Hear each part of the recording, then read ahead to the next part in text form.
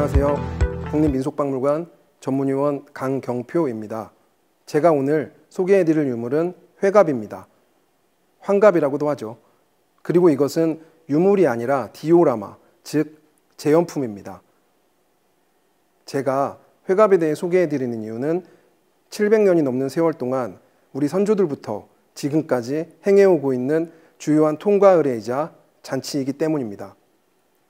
물론 지금은 60세면 한창 나이 청춘이지만 예전에는 질병과 전쟁 등의 이유로 평균 수명이 길지 않았습니다. 특히 질병에 의한 사망이 많았는데요. 조선시대 영유아 사망률이 30%에 이르렀고 역병이 한 번 돌면 보통 10만에서 50만 명이 사망하였습니다. 이러한 이유로 조선시대 평균 수명을 24세에서 35세 사이로 보고 있습니다. 또 1950년대에도 우리나라 평균 수명이 52세 정도였습니다. 그러니 회갑을 맞이한다는 것이 매우 어려운 일이었고 무려 만 60년을 살면 온 집안이 모여서 잔치를 열고 축하하고 함께 기뻐할 일이었던 것입니다. 회갑은 만 60세인 61살을 이르는 말입니다.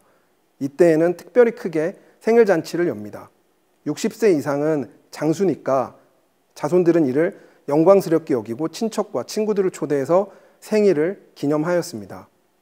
잔칫날에는 백수백복도 같은 병풍을 치고 회갑상을 차려서 집안 어른의 장수를 축하하고 술을 올리며 절을 하고 만수무강을 기원하였습니다. 회갑상은 자녀들이 차려드리는 상인데 다른 잔치상하고는 다르게 효성을 나타내기 위해서 밤, 대추 등의 과일을 높이 쌓아 올리고 기쁨과 장수를 기원하는 희, 수 등의 글자를 장식하였습니다. 회갑상은 살아있는 사람을 위한 잔치이기 때문에 남자는 동쪽에 여자는 서쪽에 앉지만 산 제사라고 해서 반대로 앉는 경우도 있었습니다. 그리고 회갑상 앞에는 술과 잔이 놓인 헌주상을 따로 놓고 자손과 친척들이 연령순으로 잔을 올리고 큰절로 건강과 장수를 기원하였습니다. 이러한 회갑잔치는 오늘날까지 계속 이어져 오고 있습니다. 물론 양상이 많이 달라졌죠. 요즘 우리나라 평균 수명이 82세를 넘어서고 있습니다.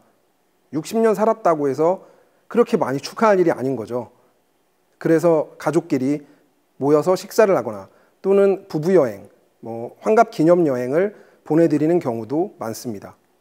그런데 외국에 거주하는 한민족, 우리 제해동포 사회에서는 여전히 회갑을 고향의 전통이라 하여 과거의 방식 그대로 행하고 있습니다. 제가 다녀온 러시아 연해주 지역 우스리스크에서도 그러한데요. 이분들 우리는 고려인이라고 부릅니다. 이분들은 대부분 1900년대 초반부터 고향 땅을 떠나서 타국에서 정착해 살아오고 있습니다. 이미 고국에서는 환갑을 간소하게 치르고 있지만 그분들은 고향의 그것을 그대로 지키기 위해 노력하고 있습니다. 그래서 한갑이라고 그들의 언어로 부르고 표기도 합니다. 러시아어죠. 또한 자녀들로부터 성대한 환갑잔치를 선물 받지 못하면 인생을 실패했다고 여기는 그런 분위기가 그들 사회에 있습니다. 그래서 자녀들은 경제적으로 매우 무리를 하면서 부모님의 환갑 잔치를 성대하게 치러드립니다. 회갑, 환갑은 단순하게는 60번째 생일 잔치입니다.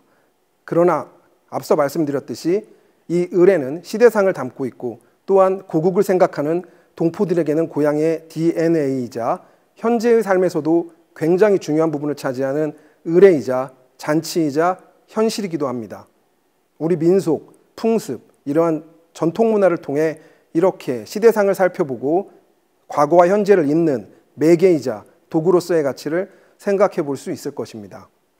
오늘 제가 소개해 드린 회갑 재현품은 저희 박물관 3전시관인 한국인의 일생관에 전시되어 있습니다. 직접 찾아오셔서 회갑뿐만이 아닌 어, 우리 한국인의 일생에 대해 살펴보시고 많은 재미와 의미를 찾으시길 바라겠습니다. 감사합니다.